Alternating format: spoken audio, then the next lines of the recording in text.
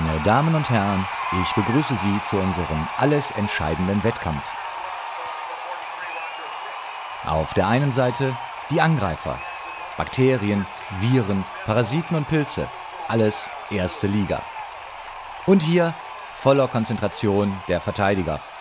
Unser Körper, vertreten durch sein angeborenes oder besser ausgedrückt sein unspezifisches Immunsystem.